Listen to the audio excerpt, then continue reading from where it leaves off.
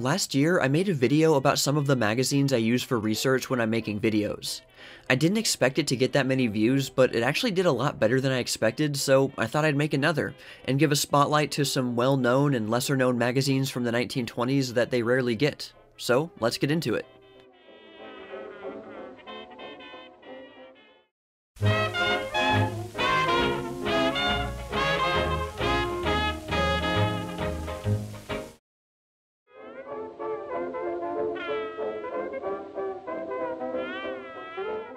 First, I want to talk about two of the most useful magazines I've discovered since making that first video. If you've been following my uploads, these names will probably be familiar to you. First up is Exhibitor's Trade Review. This was a movie industry trade magazine that I've been using for the series on how 1920s movies were advertised. Now, being a trade magazine, it wasn't very mainstream outside of the movie industry, and was targeted at movie exhibitors. In the early 1920s especially, film distribution and film exhibition were very separated, aside from the big theaters owned by big movie studios. Movie studios, big and small, needed to reach out to independent theater owners, who would decide which movies they wanted to show at their theater. This is where Exhibitor's Trade Review was useful. In the magazine, studios could advertise their new movies and give previews for upcoming movies and exhibitors could be informed about how much money bigger theaters were making from which movies, as well as promotional ideas and advertising strategies. Because just as the exhibitors were responsible for purchasing movies, they also had to advertise at their theaters by themselves. And this is the most fascinating part about Exhibitors Trade Review for me. So often, it features photos showing how these exhibitors advertised inside or outside their theaters. This usually involved decorating the entrance and lobby of their theater for whatever big feature they wanted to bolster. While some of the big studios offered some advertising components, the exhibitors often had to think up and make the decorations themselves. This had the effect of having a wide variety of decorations, showing many different approaches with varying degrees of pageantry. And it can really help us now to understand the selling points of these movies, which is especially useful when looking at lost films. When I'm making one of my Lost Films videos, I'm often able to find a photo showing these kinds of advertisements. But this wasn't the only kind of advertising that exhibitors did, no sir. What is probably more interesting are the many kinds of publicity stunts they tried out. These would often venture outside of the theater itself, possibly just outside the marquee, or just around the corner from the theater, or maybe even far out into the town or city. This could involve interactive props, fashion shows, vehicles with cheeky movie ads on them, or lookalike contests. The most interesting one I've found so far is a publicity stunt for the movie One Clear Call, which features the Ku Klux Klan as a major part of the plot. One theater did this to advertise the movie. Yeah, a strategy that wouldn't exactly work today, to say the least. A lot of the articles and short pieces featured in Exhibitor's Trade Review are very business-oriented, so it doesn't really make for very interesting reading most of the time. The most interesting things to read in it are the movie reviews, and once again, these are very useful for my Lost Film videos, especially because they do a rundown of the plot as well as a brief evaluation of the movie's entertainment value and appeal. Although, the magazine did take money from the big studios for advertising, so it's entirely possible that the reviews are a bit biased, so it's always good to cross-reference them with independent reviewers. However, there are negative reviews, so I'm not really sure what to think of it. Now, let's quickly go over to a very similar magazine, Exhibitor's Herald. It targeted the same readership as Exhibitor's Trade Review, talked about most of the same things, and featured film reviews. I think the most interesting thing that Exhibitors Herald offered that Exhibitors Trade Review didn't was extensive coverage on theaters themselves. This was found in the Better Theaters section, though it wasn't in every issue of the magazine. I've featured some of this coverage in my videos on some of the big movie palaces. Just like Lost Films, many of these once grand movie palaces are now gone forever, and they were also a big part of the overall movie watching experience for many people and you can find some absolutely incredible photos of movie palaces and theaters as well as the smaller architectural details. And there will definitely be more videos featuring them in the future. Exhibitors Herald also had a lot of information on theater equipment like projectors and even furnishings like theater seats, with great photos and advertisements for those kinds of things. It's a nice look behind the scenes that most people don't really think very much about. Exhibitors Herald also had a nice pictorial section that shows industry-related photos, behind-the-scenes shots, and publicity photos. I also like that they often have photos of big movie stars posing with a copy of Exhibitor's Herald, even though most of them wouldn't really have had much of a reason to know about the exhibition side of things. And there are also a lot of movie stills that are very helpful for researching lost films. Best of all, the advertisements that studios put into Exhibitor's Herald are sometimes just amazing. The issues from the later years of the decade are especially great. There are whole collections of ads with stunning, colorful artwork, usually featured when big studios were announcing their new season of features. And outside of ads for individual movies, there are also ads for the studios themselves. Exhibitor's Trade Review also had similar ads, so really you can look at either. As with pretty much all the primary sources I use, you can find both Exhibitor's Trade Review and Exhibitor's Herald on the Internet Archive, and I highly recommend them for any sort of research into 1920s Hollywood and the industry as a whole. Okay, now let's move away from movies. In recent months, two of my biggest videos have been the ones about futurism. I found quite a few of the photos and articles for part 2 in a magazine called Popular Science.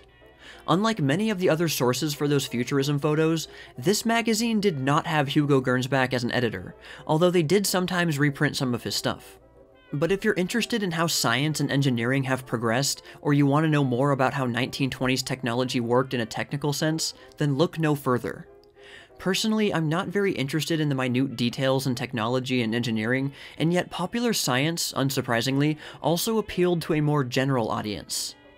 I've made a couple of short videos of features from popular science before, usually being nothing more than pictures with short captions but simplicity is often the key to understanding, which is why I like to feature them. Some of these simple features talk about things we might overlook about the past these days, like how the post office worked or what happened to nickels used for payphones.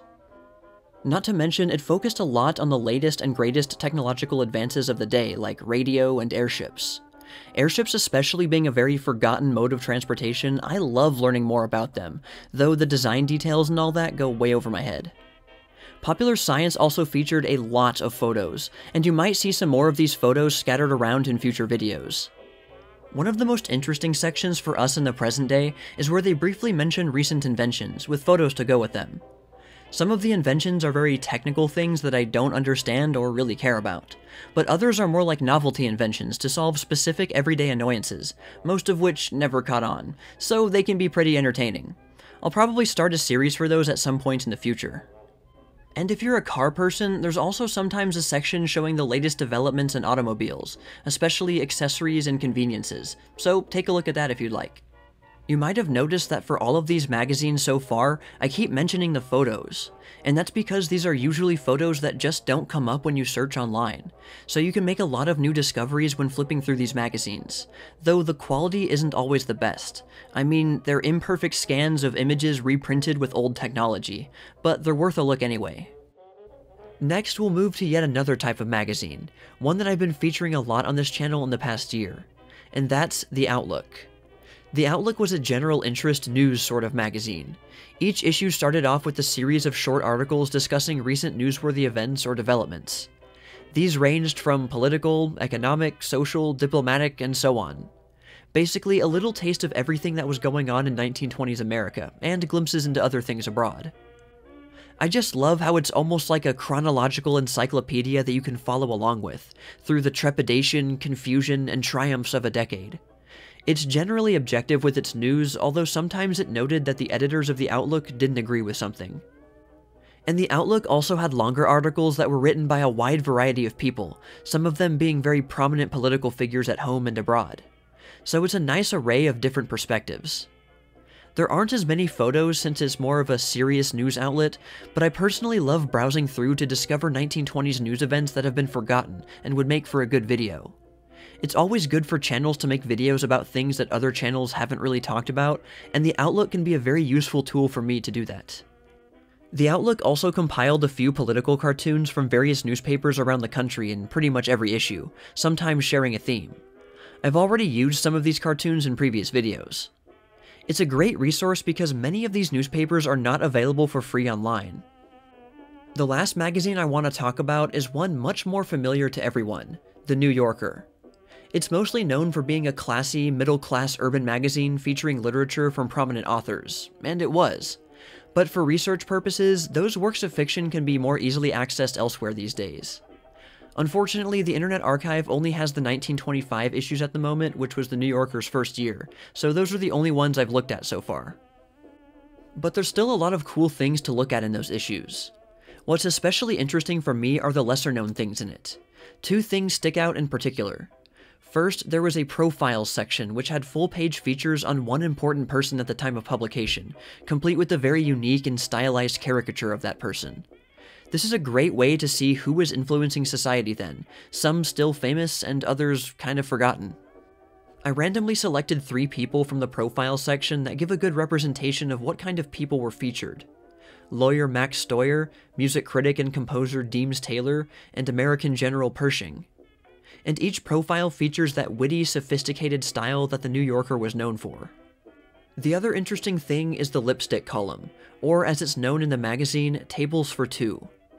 This was a short column written by Lois Long, a young 20-something woman with a biting wit.